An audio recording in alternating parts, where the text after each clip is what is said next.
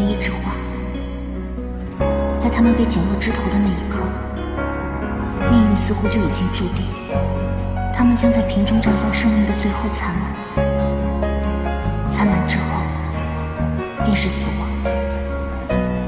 但有些花，偏偏不甘命运的摆布，就在花朵开败的瞬间，又吐露出新的芳华。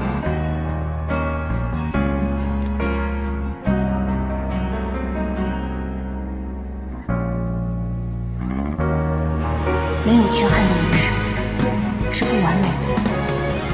我们来到这个世界，不是为了做个单纯完美的天使，而是为了感受酸甜苦辣、悲欢离合。花开虽美，但顽强展露的心声，却让生命闪耀出更夺目的璀璨。怎么让眼睛动了情？看过那么多的风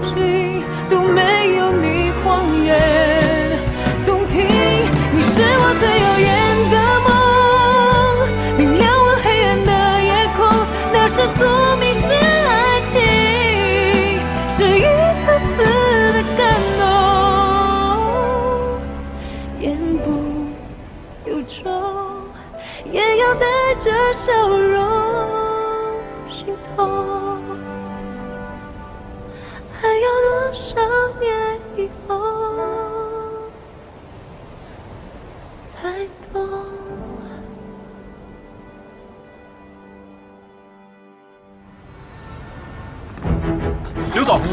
家确实要裁员三分之一，是吗？据说裁员的名单中，甚至还有怀孕的员工，求您作何解释？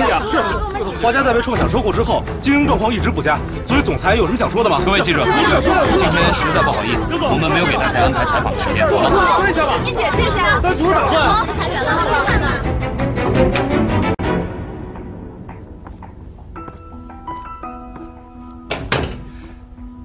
也不知道是谁把裁员这件事儿捅到记者那儿去了。这些记者也真是，不就是裁减人吗？至于这么兴师动众的？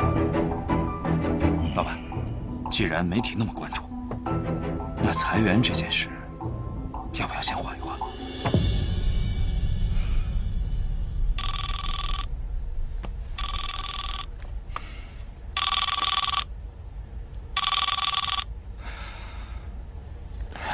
司通先生，呃，关于花家裁员的事，确实是经营上的需要。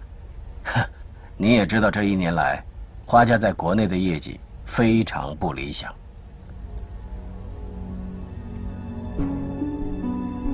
好的，我明白了。我当然是服从总公司的决定。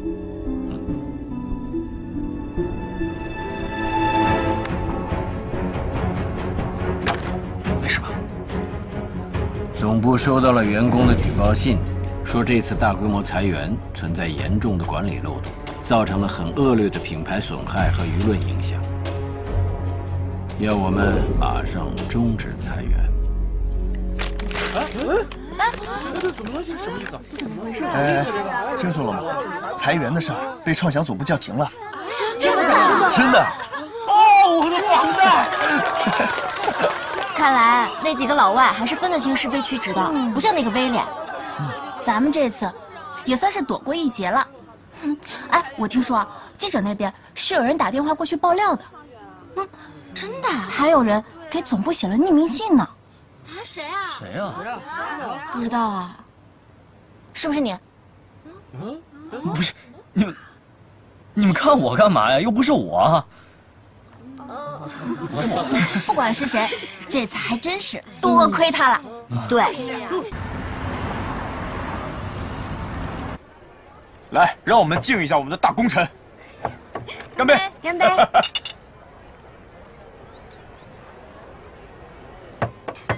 先发动舆论造成压力，再用总部打压他。零零七，你这一年的进步，我们真的是有目共睹。不是我夸你啊，就你的这套方法，我拿心妍的人头担保，我肯定是想不到的。什么？啊，我错了，我错了，错了。其实这办法也不是我想的。啊？哎，莫非有高人在背后指点？嗯？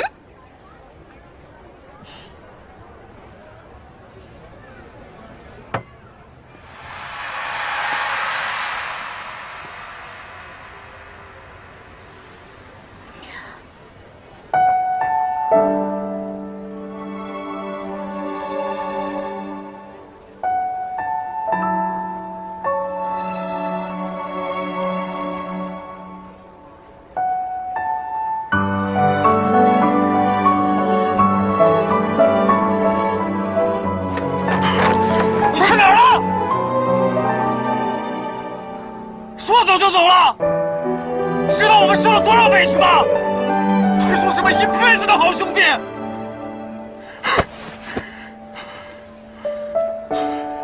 对不起，天哪，我不是在做梦吧？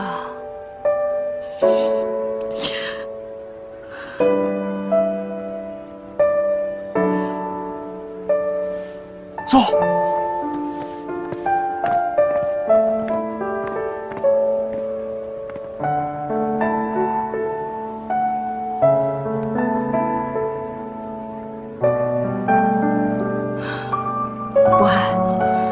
得起我们吗？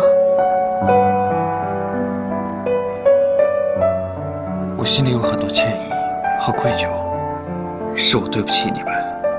但是这些道歉的话，我留着以后慢慢跟你们说。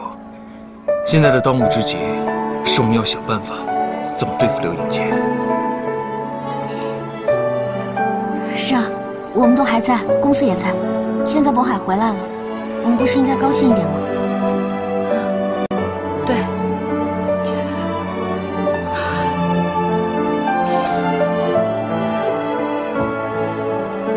今天，我们等了整整一年。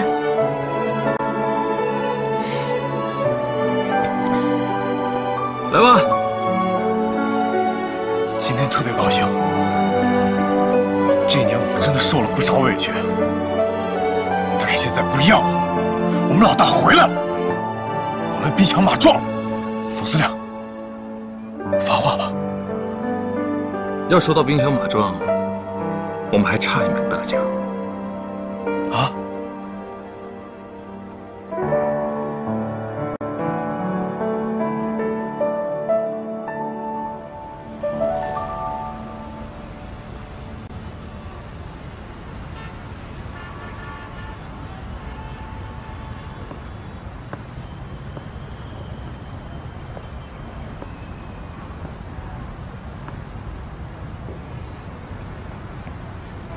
你怎么来了？你的事儿，宝妮都告诉我们了。那你一定很恨我吧？我们的父母是一起创业的伙伴。如果什么都没发生的话，我们应该也是志同道合的兄弟吧？